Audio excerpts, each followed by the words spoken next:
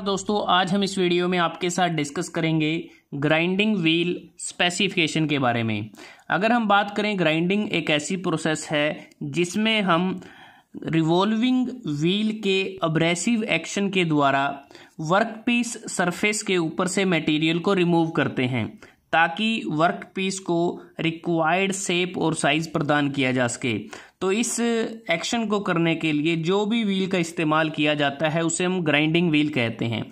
जैसा आप देख सकते हैं बेंच ग्राइंडिंग मशीन में ये ग्राइंडिंग व्हील लगा हुआ है, ये पेडस्टल ग्राइंडिंग मशीन में ये ग्राइंडिंग व्हील लगा हुआ है। तो ये जो ग्राइंडिंग व्हील है, इस पे जो नोटेशन होती है, इसकी जो स्पेसिफिकेशन है, वो किस प्रकार से होती है? अगर हम बात करें अलग अलग कंट्रीज़ में अलग अलग स्पेसिफिकेशन का इस्तेमाल किया जाता है, इसलिए कि थ्रू आउट कंट्री जो नोटेशंस हैं, जो स्पेसिफिकेशन है, उसमें यूनिफॉर्मिटी बनी रहे इसलिए एक marking system of grinding wheel को बनाया गया ब्यूरो ऑफ़ इंडियन स्टैंडर्ड के द्वारा, और जिसको मैन्युफैक्चरर ने फॉलो किया। तो अब बात करते हैं कि जो ग्राइंडिंग व्हील पर जो नोटेशंस होती हैं, वो स्पेसिफिकेशन है वो किस प्रकार से होती हैं? ये उसकी सीक्वेंस है। Sequence of Indian standard system of marking grinding wheels IS code five five one nineteen eighty nine के अनुसार। तो ये एक सीक्वेंस रहता है। सबसे पहले प्रीफिक्स होता है, जो ऑप्शनल होता है। क्योंकि ये जो प्रीफिक्स है, ये मैन्युफैक्चरर के द्वारा इसको यूज़ किया जाता है, जो कह सकते हैं एक मैन्युफैक्चरर सिंबल होता है। एक प्रकार से एग्जैक्ट काइंड ऑफ़ अब्रेसिव ये हमें बताता है। या कह सकते हैं कि ये मैन्युफैक्चरर का अपना ट्रेड ब्रांड होता है। उसके बाद अब्रेसिव टाइप होता है। अगर हम बात करें, जो अब्रेसिव टाइप है, वो मेनली दो अल्फ़ाबेट यहाँ पर यूज़ किए जाते हैं। या तो ए का यूज़ होगा या फिर सी का यूज़ होगा। अगर ए का यूज़ किया गया है तो ए होता है एल्यूमिनियम ऑक्साइड के लिए।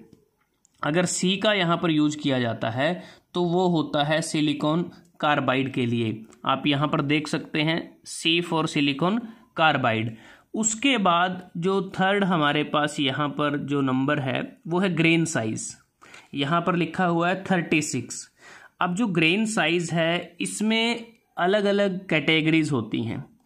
इसे हम ग्रीट नंबर भी कहते हैं।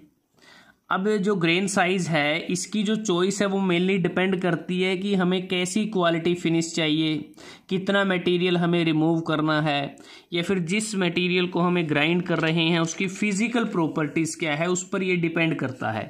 तो जैसे अगर यहाँ पर थर्टी सिक्स लिखा है तो इसका मतलब है कि इसका जो एब्रेसिव ग्रेन साइज़ है, वो, अगर आप देखें थर्टी सिक्स यहाँ पर है तो वो मीडियम है।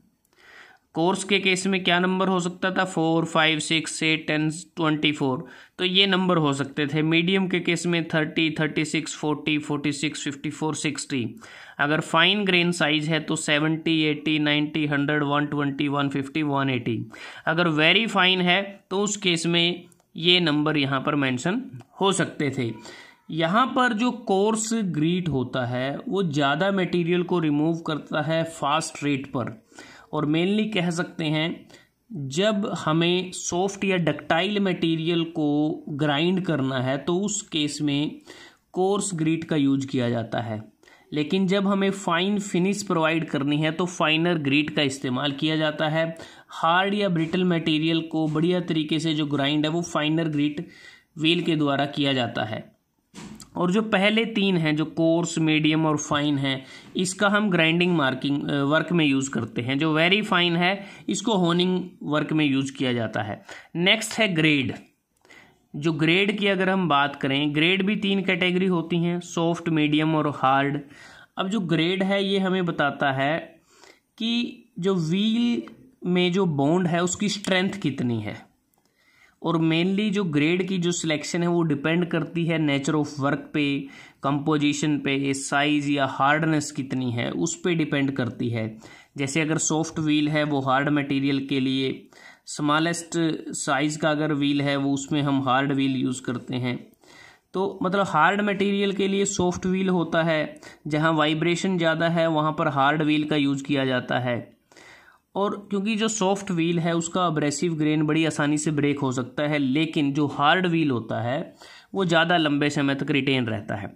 तो इसको अल्फ़ाबेट से दिखाया जाता है। अगर यहाँ पर ए से लेके एच तक अल्फ़ाबेट हैं तो हमारा सॉफ्ट व्हील है। अगर आई से लेके पी तक अल्फ़ाबेट हैं तो मीडियम है। अगर क्यू से लेके जेड तक अल्फ़ाबेट हैं तो वो हार्ड व्हील होगा। उसके बाद नेक्स्ट जो सीक्वेंस में आता है, वो आता है स्ट्रक्चर अब स्ट्रक्चर में यहाँ पर नंबर लिखा होता है। तो स्ट्रक्चर दो तरह की हो सकती है, क्योंकि जो स्ट्रक्चर को नंबर से इंडिकेट करते हैं, ये हमें बताती है कि जो अब्रेसिव ग्रेन जिससे ग्राइंडिंग व्हील बना होता है, उन अब्रेसिव ग्रेन्स के बीच का स्पेस कितना है? डेंसिटी ऑफ़ व्हील की ये बात करता है। तो दो तरीके होते हैं। या तो ये डेंस होगा या फिर ओपन होगा। अगर यहाँ पर अल्फ़ाबेट वन से लेकर एट तक लिखे हैं तो वो डेंस है। अगर नाइन से लेके सिक्सटीन या उससे ज़्यादा है तो उस केस में ओपन है। तो ये हमारी ओपन स्ट्रक्चर है। इसके बाद बात करें जो स्ट्रक्चर होती है, उसकी सिलेक्शन डिपेंड करती है वर्क पीस के मटेरियल पे। उसकी हार्डनेस कितनी है? ग्राइंडिंग ऑपरेशन किस टाइप का हम यूज़ करते हैं? जो सरफेस फिनिश हमें वर्क सरफेस पे चाहिए, वो किस प्रकार की है? अब नेक्स्ट की अगर हम बात करें, जो दो व्हील हैं, अगर सपोज़ एग्जांपल के तौर पे हम बात करें, जिनका ग्रेट नंबर सेम है ग्रेड सेम है सेम ही मटेरियल पर हम यूज़ करते हैं तो उस केस में हमारे पास दो ही स्ट्रक्चर होंगी ओपन स्ट्रक्चर या फिर डेंस स्ट्रक्चर जो ओपन स्ट्रक्चर है, वो ज़्यादा फ्रीली और बढ़िया फास्ट तरीके से कट करती है, उसकी लाइफ भी ज़्यादा होती है डेंस स्ट्रक्चर के मुकाबले। नेक्स्ट है नेचर ऑफ़ बाउंड अब जो नेचर ऑफ़ बाउंड की अगर हम बात करें, जैसा हमने बात किया कि जो ग्राइंडिंग व्हील है, वो अब्रेसिव पार्टिकल्स या अब्रेसिव ग्रेन से मिलकर बना होता है। तो उन अब्रेसिव पार्टिकल्स को अब्रेसिव ग्रेन्स को आपस में जोड़ जोड़ के रखने का जो कार्य है, वो बॉन्ड करता है। एक प्रकार से उन सभी अब्रेसिव ग्रेन्स को आपस में फर्मली एक साथ जोड़ने का जो कार्य है बॉन्ड बाइंडिंग करने का कार्य है, वो बॉन्ड करता है। अब बॉन्ड है, वो अलग अलग होता है। अब जैसे यहाँ पर कैपिटल वी का इस्तेमाल किया गया है तो ये विट्रीफाइड है। अगर एस होता तो सिलिकेट होता आर होता तो रबड़ होता तो इस प्रकार से अलग अलग नोटेशंस हैं। आवश्यकता के अनुसार जो भी यहाँ लिखा होगा, वो हमारा बॉन्ड हो सकता है। अब उसके बाद जो नेक्स्ट आता है, वो आता है सुफिक्स अब सुफिक्स भी क्या है? ये भी ऑप्शनल है। ऑप्शनल इसलिए है क्योंकि इसका भी जो इस्तेमाल है वो मैन्युफैक्चरर के द्वारा किया जाता है। और जो सुफिक्स है, ये सारी नोटेशन के बिल्कुल एंड में ये लिखा होता है।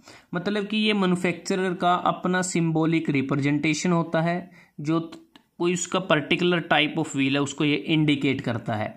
तो एक प्रकार से जो प्रीफिक्स और सुफिक्स हैं, ये दोनों ऑप्शनल होते हैं, ये हो भी सकते हैं और नहीं भी हो सकते। ये डिपेंड करता है कि मैन्युफैक्चरर इसको यूज़ करता है कि नहीं करता है।